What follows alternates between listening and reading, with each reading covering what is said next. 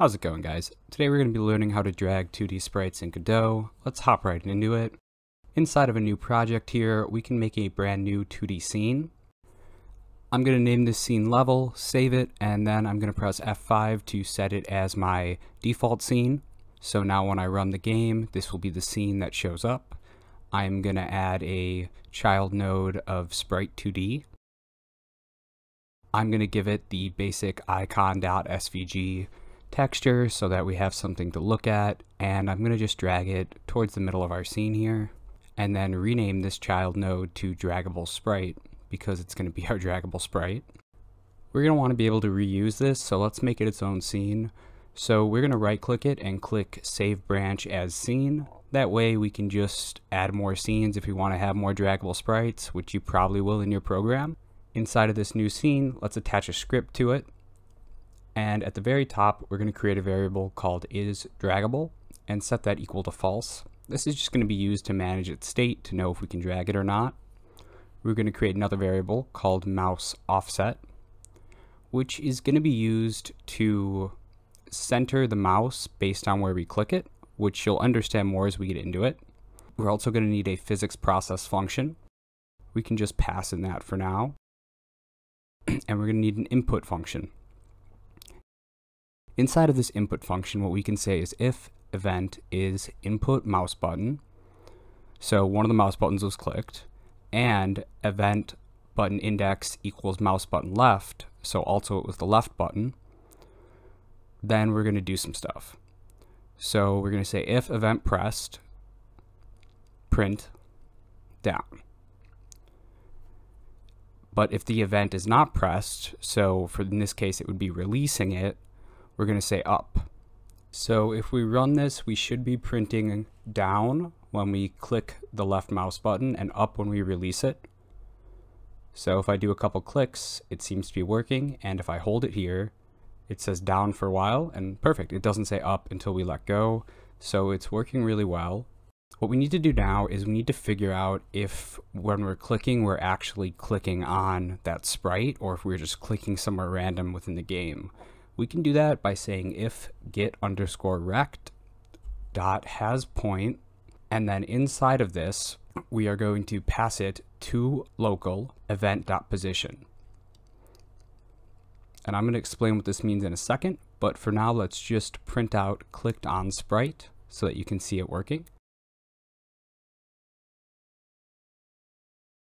So if we run it again, you'll see that when we're clicking around the area, we're just getting up not any kind of indication that we're clicking on the sprite, just being just being told that we're releasing our click. However, when we actually click on the sprite, it does tell us that we are clicking on the sprite. So it's working, which is awesome, but how is it working? Well, basically what we're saying here is we're getting the event position, which is the position inside of the game that we're clicking, because ultimately what we're looking at is a mouse click. So when it's pressed, it says where is the event position, and what we're doing before that is we're getting the rectangle, which is the whole area of our sprite, and this is working here because the getRect function is returning the position and the size of our node or a rectangle, which is a rectangle in our case, but it wouldn't always be necessarily and we're seeing if inside of this rectangle it has the same point that the event position is. Now that we know when the sprite is being clicked on, we can set is dragging equal true when it's clicked. And inside of the physics process, we can say if is dragging is equal to true. Well, we want to drag it, obviously. So what we're going to do here is create a tween. For those of you who have never used tweens or don't know what they are, um, I don't want to get too into it because it could really be its own whole video, but uh, it, basically, in a simple way of saying it, but in a simplified version, it's basically just a way to interpolate or gradually kind of go from one position to another. So you're going to give it two points and it's going to make that animation and it's going to do it in a smooth way.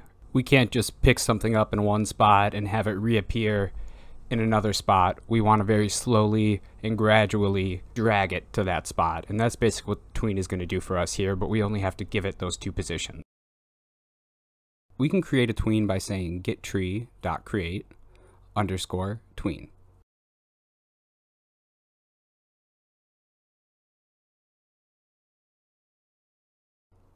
And we're just going to be making one really simple animation here. So we're going to say tween.tween underscore property.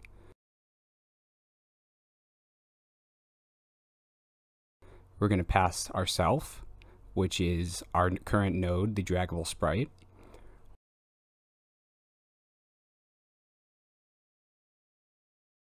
We're going to want to alter the position. We're going to want to get the global mouse position because that's where we want to go to. And then we're going to pass how long we want it to take. So to make this easy, I'm going to make a delay variable and we'll just multiply that by delta. So up at the top, we can say var delay equals, and I don't know how long I want to do, so let's do 10. So let's also set is dragging equal to false here so that when we release it, it stops dragging. And if we run that, you'll see there's a pretty solid delay here, which might honestly be what you want, depending on how you want it to look, right? You could make it look like a really smooth animation with it being a little slow like this. It might work really well in your game, but you also might want something faster. So all you have to do is make that delay a smaller number if you want it to be faster, and it'll do just that.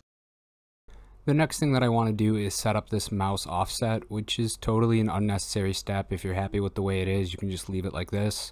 But I want to take the mouse set into account for mine. And what that is, is basically I want to take into account where the mouse is positioned in comparison to our sprite when we are grabbing it.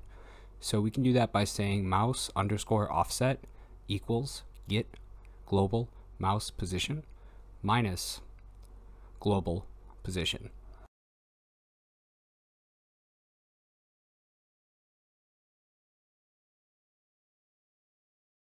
And then when we pass in that global mouse position up at the top, we're going to be subtracting it by this offset each time. And this is just going to keep our offset in place. So you'll see you here, we're grabbing it in the corner. It's staying in the corner. It's not forcing it to be in the center. That's because it's remembering where the offset was when we originally grabbed it, even though we're moving it around. But again, this is a totally additional step and not necessary by any means. All right. And the last thing that I would say we can do is adjust the delay up here. I'm going to start out by doing a really big one. Let's make it 200.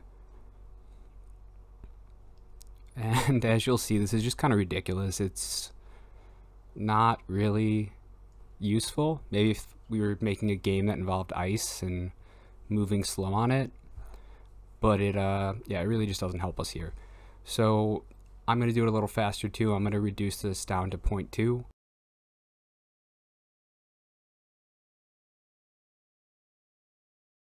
That's pretty fast, pretty smooth. Might be a little too fast, but you can adjust this and play around with it and find what really works for you. Uh, that's going to be it for this video. Hopefully you found it interesting and you found it helpful. If you did, please let me know. I hope you have a great day. Take it easy.